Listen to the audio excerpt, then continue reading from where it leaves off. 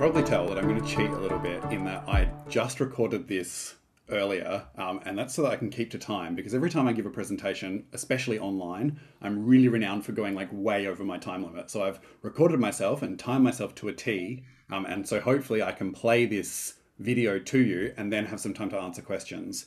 But if you like, please, like as we go, if there's anything that comes up that you want um, to ask any questions about, please do um, type into the chat and I'll try and address those at the end and we should have a couple of minutes for questions. So I'm going to play this now uh, and hope for the best. Um, Hi, my name is Aidan. It's a pleasure to be talking to you uh, today. I've really enjoyed some of the themes of the conference, particularly thinking around um, democracy and democratic participation, and I really want to dive into that today in my presentation on From Partnerships to Governance. Uh, so I'm a PhD student in the College of Humanities, Arts and Social Sciences at Flinders University, and I'm about five weeks away from submitting my PhD thesis. Uh, so this presentation is going to draw a lot on um, the empirical data that I collected during the course of my PhD. I'd like to acknowledge that I speak to you today from the lands of the Kaurna people of the Adelaide Plains, land which was never ceded. The Kaurna people have continuing and significant relationships to lands, waters, and sky in Adelaide, and their culture, heritage, and beliefs are still important today. I wish to pay my respects to those who walked before, elders past and present. And finally, I'd like to extend my acknowledgement to any Indigenous colleagues here with us today. I want to talk to you about students, university, and community. In particular, I want to dial down to the relationship between students, university, and community. And I want to think about students in terms of participation. There are five broad categories that I'm going to talk through, and I'll dive into each one of these. I think it's important to think about our definitions as we go, um, and particularly uh, thinking about the last day of our conference. Um, I think some of those key terms and definitions have, have sort of started to surface, and I'd like, like to cement some of those down in this presentation. So, contextualizing student participation, thinking about and rethinking the teach in, which is a tool of the student activist of the 1960s, and I'll talk more about that in a moment. Unpack student expectations and their understanding of participation in governance from the empirical data that I've collected. And build a bit of a relationship between students as partners, grassroots educational movements, and students' voices in governance. Finally, I want to put forward a bit of an imperative for change in the sector. So when I talk to people, a mythology about student activism became really clear. So as soon as I started to say, you know, my PhD is in activism, people who hadn't necessarily lived through it would snap in their minds straight to this moment of, oh, the 1960s, students with their fist in the air, megaphone in one hand, you know, waving a banner. It's a three-handed student at this point. Um, but we, you know, we start to see this real image of what a student activist is. But actually, all the way from the 1960s, so Little, who did an embedded ethnography over two years, 1968 1969, in a university in Melbourne, spoke about sort of your regular student body, those that were turning up to try and get their degree, actually not engaging with the student activism of the day. Though student activism was rife and, and incredibly prevalent during the 1960s and 70s, students who were just rocking up to get their work done were not always necessarily part of the student activism. And so the um, the student activists had to come up with ways to get the, the regular students involved in their protests, their demonstrations, their letter writing, etc. And so then an interesting tool emerges. But I want to just quickly stop and conceptualize student participation. And I think this is useful in terms of thinking about our definitions and thinking about what students do in a university. So number one, as I've somewhat hinted, you know, that basic involvement, that I'm going to university to get my degree. I'm going to go to my tutes. I'm going to talk to my peers in my class. I'm going to do my assignments. Eventually, I'm going to graduate and I'm going to go out into the world and, you know, do whatever it is that my degree equipped me to do. The second group is the student activist, those that are, you know, fist in air, megaphone in hand, but also, the student activists are those that are often very visible on campus, right? You know, as you're walking in, often they'll be trying to get you to sign a petition or um, to read some literature or, you know, these kinds of things. Then there's the student politicians, which is, you know, a third group, not necessarily distinct from group two in every way, but somewhat discrete in that the student politicians are often embedded in structures of governance and operations in the university. They've usually got some kind of alignment with a political party. Typically, in Australia, that's the Labor Party. Um, and they have particularly strong views about what education is for, what they're doing on campus, uh, and for why they're holding roles on the campus. And number four is the student power movement. And the student power movement has been somewhat quiet sort of since that 1960s period, but it's emerging again in the form of partnership. And these are students who are really interested in the actual activities, the teaching and learning that goes on in a university, and the structures that support that. Right? And I'll talk about this a little bit more. Of course, none of these groups are exclusive, preclusive. You know, you could be a member of one and four and two and three. You know, there's there's uh, no specific way that you have to conceptualize this. And I'm also not asserting that these are the only categories of students or student participation. These are just some uh, really concrete categories that came out of what I've collected since all the way across since the 1960s through to 2021. And if we revisit that idea from Little, that the uh, student activists had to convince other students, right? And this is going to lead into the teach-in we can see, you know, in um, student student magazines and student publications, these calls for students to do things. So in 1972, um, the Empire Times published a, uh, a pull-out A4 sheet. There was a poster that they stuck on columns and things to try and ask students to become involved in the union, but also to become involved in university government. Right? And so this was a really serious call to action for students to get them involved in participatory governance at the university. And so again, that onus falls back to the student. But the student activists, particularly thinking about that 1960s period, they were really successful at converting people to their cause. Now, of course, you could argue that they had an important cause. You know, there was a there was a big war going on, and you know, you could rally people to um, supporting peace. Is a you know that's a big movement. It's part of something really large. But the student activists themselves were really clever and strategic about how they encouraged people to participate with them. And it was in these beginnings that the teach-in emerged. And the teach-in is this tool whereby a group of student activists would run around the campus and pull students into a lecture, an empty lecture theatre, and they would set up this room and they would give a little bit of a, a short presentation about you know the state of affairs, probably some um, you know some tragic moments that had happened in the war and things like that, and they would talk about some really hot political issues. They'd try to educate their fellow students about what was going on.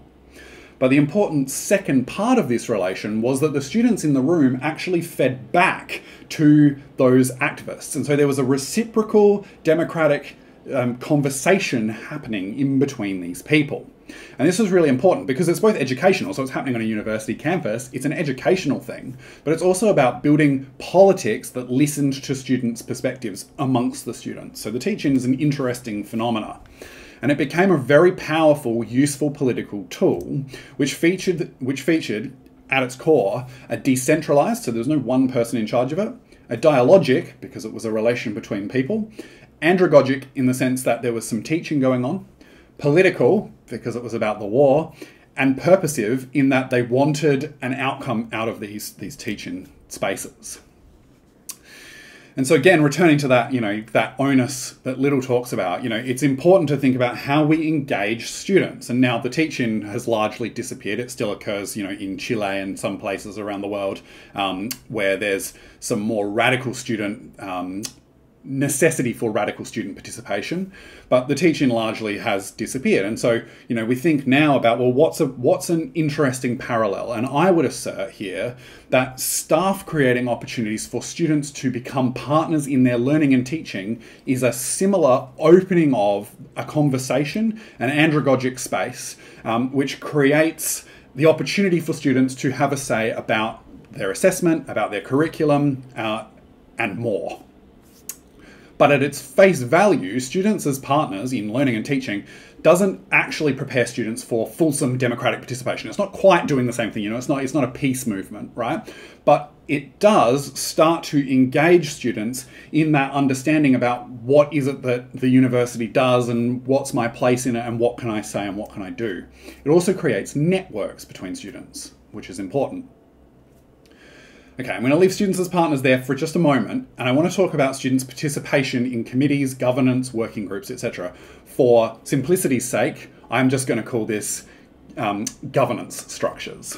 So I spoke to a lot of participants about um, the issues that they faced, and key among those were power dynamics, right? They felt that they had something that they could say, but while they were sitting on a committee, know, an important governance committee, often a faculty committee or a university committee, they couldn't really speak up about their issues because, well, it wasn't on the agenda and it didn't quite fit. And, you know, I'm in a room with people who are, you know, they really know what they're doing. They're all professors. You know, this is a, a high, high tension and high power dynamic space, right? So there was some, you know, some issues around how comfortable they felt participating. In addition, uh, when we think about who's chosen for representative structures, there, there was some there were some concerns from students about you know well only those students that are elected to um, student government positions, so student union, student association, and student guild positions, they're the ones that are getting all of the say, and they don't represent me. You know, and of course, this isn't a universal issue, but thinking about who we're choosing to represent students is, is a really important part of this dynamic.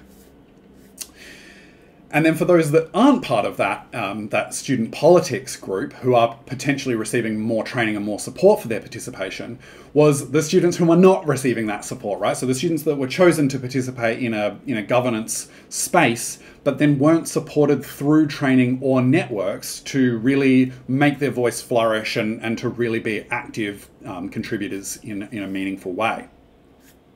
So to address this at Flinders, and, and this is not unique to Flinders by any means, um, a couple of people devised a, uh, a strategy to engage students to build the democratic capacity, address some of those power imbalances, though of course acknowledging that you know academics are always going to have a bit more power than the student, right?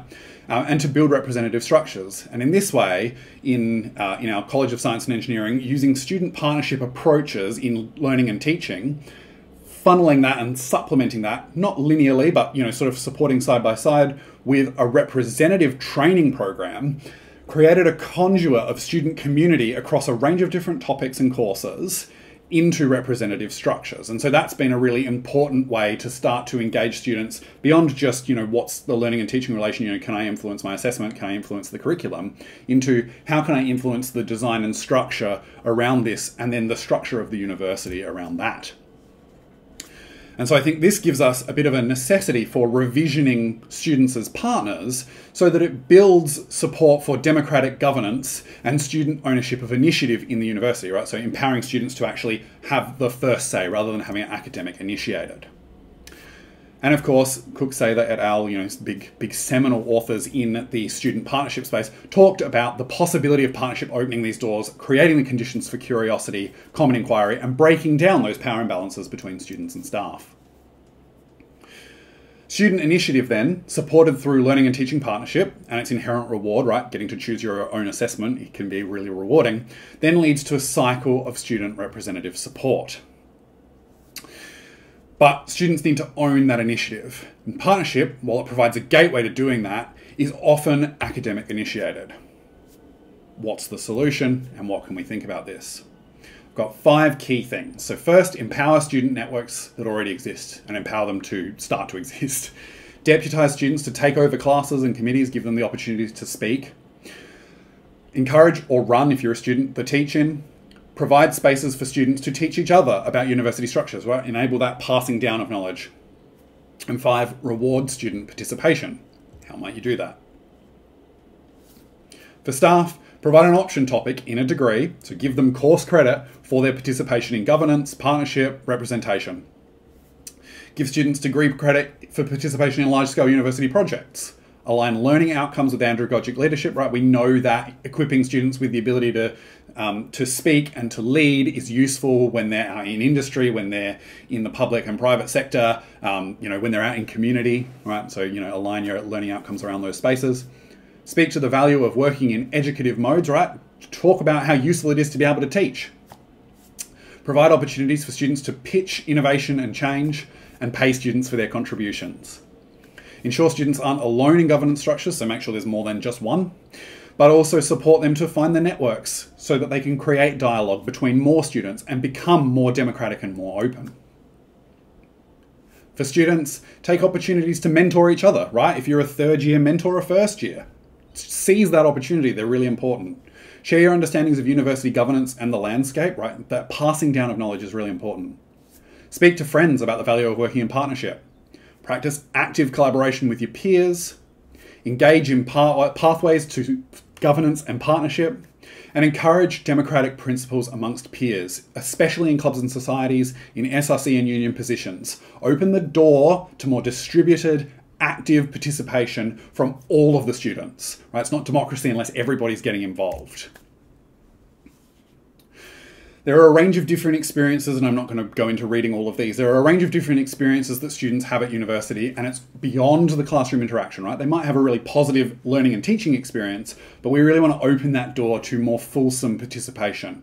I don't think it's radical to say that we want students to be able to engage with democracy. We live in a democracy, so if we can use universities as a tool to support students to start that engagement, then we have real potential to do something really good for the world.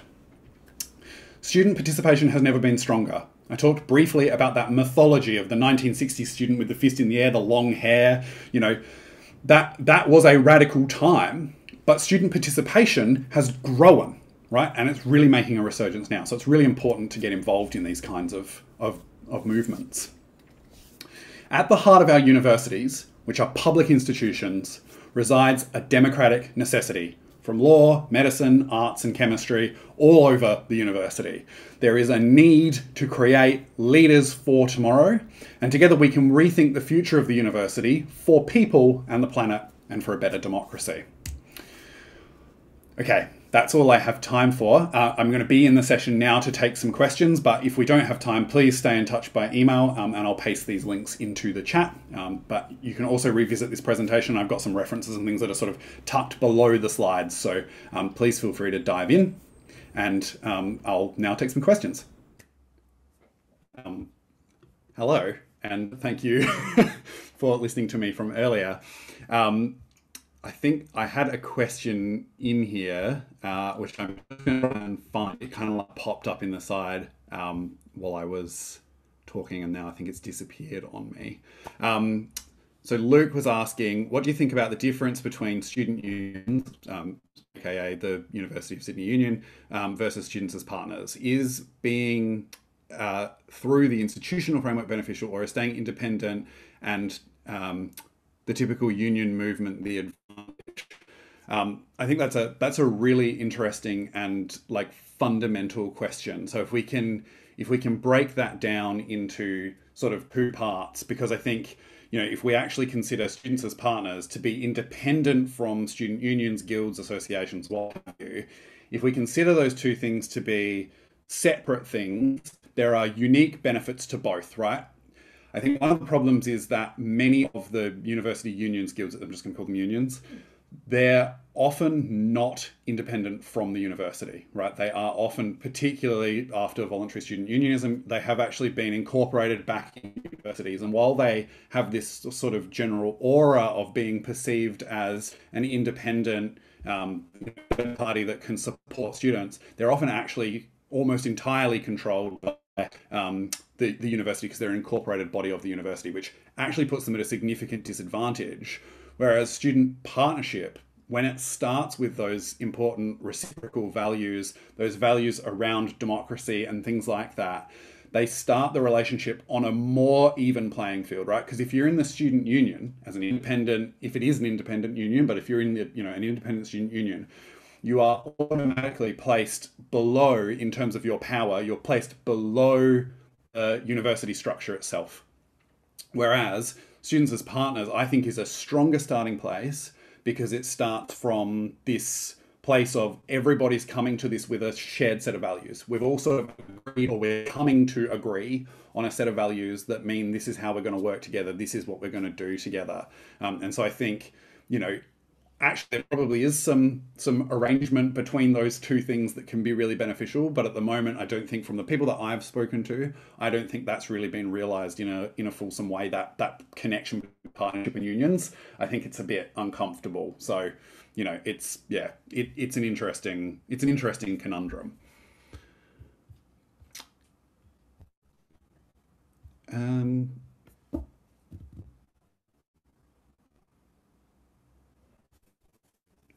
I'm just sorry. I'm just. It's really it's hard to like read and then talk. Um, thank you everybody for your comments. Um, and please feel free if you just want to like if you have a question and you just want to throw your mic on and ask. I'm like more than happy to just take any questions or comments that way as well.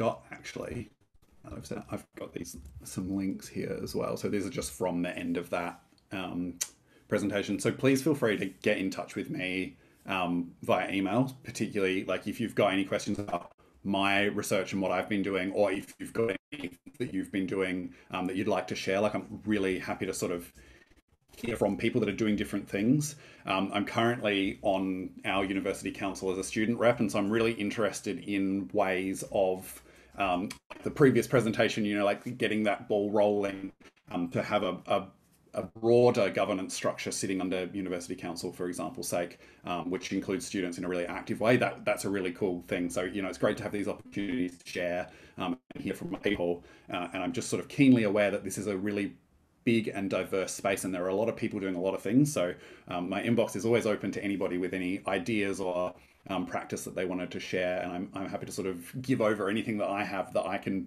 give to help. Um, so yeah, thank you. Um, if there's no other questions, um, I reckon we might all just have like a couple of minutes to like just like take a breather, and then we can go back into that other room. Um, so thank you again for coming and listening, and I'm going to be quiet now. thank you, Aidan. I thought I'd turn my mic on because I know what it's like when you're in a room and you're not sure if anyone's yeah. Great presentation. Thanks.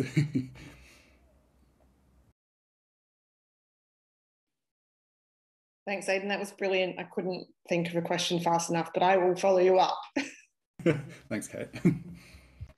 Likewise, I, I as you were speaking, I was trying to jot down notes and questions came up and then you made a really fantastic point and I, I then suddenly lost that question in my head and went on to a new one. So I, I, couldn't quite keep up, but I was making a lot of parallels with what you were saying and what the research was suggesting and what you found and a lot of the topics that were discussed earlier today. Um, uh, one of them was around the barrier of um, I suppose what I would see it as intimidation as a student perspective going into the space of governance and decision making within a structure. Um, I think that can be a huge barrier to students going and how Sheen um, on Tuesday made that comment as well of um, students when it's just a level of voice and just feedback and it doesn't go further to the other two dimensions.